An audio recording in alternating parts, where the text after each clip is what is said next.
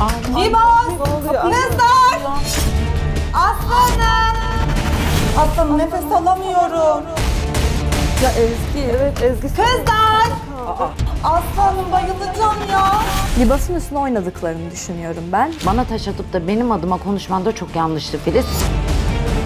Sen benim evde daha az eleştiri yapıp burada daha çok eleştiri yaptın. Sana da bu kadar yorum yaptım. Kazanmayı bu kadar istediğini bilseydim ben sana 9 değil direkt 10 verirdim.